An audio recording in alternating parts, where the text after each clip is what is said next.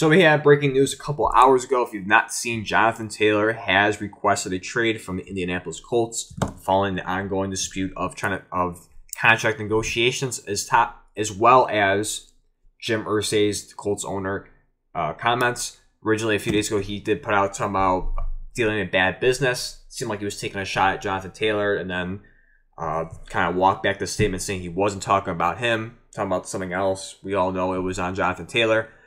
And following, also following the Jonathan Taylor uh, request, he also came out and said that they have no plans to trade this, the running back. And on top of that, too, also add this quote saying, "quote If I die tonight and Jonathan Taylor is out of the league, no one's going to miss us. The league goes on. We know that. The National Football League rolls on. It doesn't matter who comes in and who goes. It's a privilege to be part of it. Doesn't help. Those two comments don't really help the situation either. Um, and it's it's a, it's a very tricky situation. I mean, right off the bat, he's not leaving the, the Colts. It's the same. It's a you know just a, a, a negotiation tactic. It's not going to do too much because both sides know it, it's not going to happen. I mean, the Colts have the leverage here. They they they'll decide if Jonathan Taylor leaves or not, and if they if they're hell bent on not him not leaving, he's not leaving. Uh, it, I view a, a very similar situation to basically a mirror of Saquon Barkley similar situation where he felt disrespected in the contract negotiations. He threatened to sit out week one. Of course, right before they signed the contract, there was rumors of a trade. Miami was trying to acquire Saquon before he signed his one-year deal, which is basically a franchise tag and just a small uh, bump in a, in a raise, one or two million more. And I view similar to, to Jonathan Taylor because the Colts know his value. He is a vital piece for his upcoming season for Anthony Richardson. He, he, he is going to take a lot of the pressure off of Richardson and help him develop as a quarterback in his rookie year. Because if Jonathan Taylor was not on the roster and you hit you're rolling with Zack Moss, it's going to be hell for for Richardson in his rookie year because teams are going to put the pressure on him because they don't respect the running back behind them, and it's going to make it a lot worse for Richardson. But when you have Jonathan Taylor in the backfield, it, teams are going to have to have to uh, respect him, and they're going to kind of send you know send a little more blitzes, bring the linebackers up a little bit closer to the line to try and stop Jonathan Taylor if they can run the ball well, and it's going to open up the field for Richardson, throw it over the over their heads, and get his confidence going, get his game going, and develop him, and, and obviously move forward to being the quarterback that they that they believe he will turn out to be. Uh, I mean, people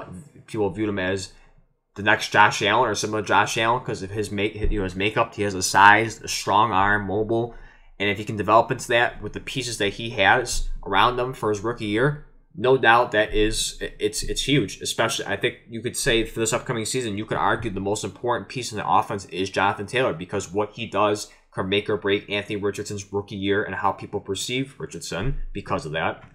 So the Colts know that. That the, the, the, Colts know the value. They don't want to pay him top dollar, but they know he's a top back in the NFL. He was voted top ten by executives, by scouts, by players. He was on that list. So clearly the Colts put their put the you know put their two cents in on Jonathan Taylor and where he ranks, so they they know. And it's it's very unfortunate for the running back situation because it's it's gonna be it's gonna be very interesting for the 2023 season of how this plays out because we had the ordeal with Saquon, which got uh, you know, re, you know, kind of solved for this year, and we'll have the same, you know, same situation that this next offseason. But you have Josh Jacobs, Tony Pollard, Austin Ekeler, Dalvin Cook, free agency so far, and uh, right now Jonathan Taylor, and, and, so much more. It's gonna be very, it's gonna be very interesting to see how the landscape works out for this upcoming season for running backs. Um, once again, I, I, I do view I, I do see Taylor be on the Colts this year. I view this once again very similar to the Saquon deal. I think he'll sign a, a one or two year deal, uh, get a little bit more, a little bit of a, a, pay raise, but ultimately it's going to be probably around the same money because just it's it's unfortunate how the, the landscape for running backs is going. I do agree with them saying that it's it's kind of BS with the whole landscape of running backs and the perception of it. I hate the argument when people say that you can just replace them easily. You can't with these type of guys. You can't replace. You can't easily just replace a Saquon, a Jonathan Taylor, uh, a Dalvin Cook. It's it's not easy to do that. Um, if once again, if I look at the Colts again, I'm not. I apologize for not knowing the, the, the, the, roster entirely for running backs. The only one I know is they have was Zack Moss. So I, I just keep kind of pointing towards to Zack Moss. But I'm sorry if you if you took Jonathan Taylor the roster right now and put in Zack Moss and you told and you try to make the argument saying that he can give the, the same production, if not close to the same production as Taylor, it's BS. I'm sorry, you're lying to yourself. You don't know what you're talking about. You can't just easily replace these guys. Uh, you know, Derrick Henry's, the the Christian McCaffreys. You can't you can't replace them. I'm sorry, they're just they're too good. And I was and for you know for McCaffrey and them, they're getting paid great for a reason. I do believe Taylor should get his money, but it's unfortunate. I unfortunately he's not going to. It's it's gonna be the same situation as Saquon. He'll get 11, 12 million for one year or so and we'll be, we'll be in the same situation once again next year, where they'll probably franchise tag him, and it's just it's just going to keep going. It's unfortunate. Uh, I do I do I do side with Jonathan Taylor in this one. I do think he need, he should get his money. The, the thing that sucks is that this past year hurts him. He had a down year, but part of it too is the rest of the rest of the team had a down year. It, it's not solely on him. It's not because he regressed as a player or he's he's slowing down of age it's just it was it was an off year for everybody, and I don't think they should be held against him. I think they should look at 2021 and say that is the type of player he is. And if you look at Jonathan Taylor's stats for the three years, this is I mean, it wasn't horrible. Obviously, obviously you look at from 2021, he had over 1,800 yards, 18 touchdowns. In this past year, he had 861 yards, four touchdowns. So it's a huge regression in that. But look at the first two years. His rookie year, he had over 1,100 yards, 11 touchdowns, and we just mentioned 2021. That should be the sample size. That should be more than enough to tell you what the type of player he is, what the type of running back he is. Not this past year where everyone was horrible. Every it was so dysfunctional for the closest past year. That shouldn't be the measuring stick of how to pay Jonathan Taylor. It should be the, his rookie year, the 2020-2021 season. Those two, his first two years in the league. That should be the measuring stick and telling you he is one of the top running backs, and this is what he can do for you. Not looking at 2022, the down year that everyone had, and saying, "Oh, that's the we can't pay you because you hit because of that because you had a regression in stats. You you had a regression of a season. That should be held against him. I'm sure the Colts are definitely doing that. It's unfortunate, but." No doubt, Jonathan Taylor is one of the best running backs in the league, and how I, you know, if my team was able to have him, I would take him. I, I mean, I love James Cook. I, I do think he'll be He'll be a great player, but I, am sorry if I had the opportunity to take Jonathan Taylor, I'll take him off the, the Colt Sands. I'm sorry, he is. He, he's a phenomenal running back, and it's unfortunate that he's you know just like him and many other uh, many other top backs in the league that they're kind of just getting disrespected for the money. It's a, it's unfortunate.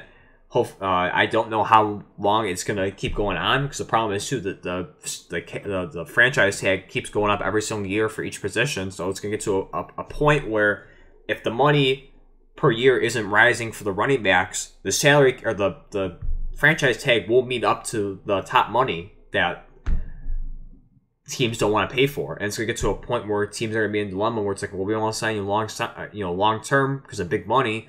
We also want to franchise tag because that's matches what the top dollar is, and then they don't know what to do. It's it's very unfortunate. It's gonna be very interesting to see in the next few years what's gonna happen with the top running backs in the NFL and the ones that are be coming off the rookie deals like Najee Harris, Bijan Robinson in a few years, uh, Jahmyr Gibbs, Etienne Walker. It's it's gonna be interesting what the landscape of the running back market is going to be, and if it's going to fix itself, if teams are gonna be willing to, or it's gonna be just it's gonna get a lot worse. But yeah, it's very unfortunate what's going on with the not just Jonathan Taylor, but everyone in general. But I'm going to kind of wrap it up here. Don't want to make it too much of a, a long video, me rambling on. Just want to get my, my thoughts on the whole situation, not with Taylor, but with everyone, regardless in the league.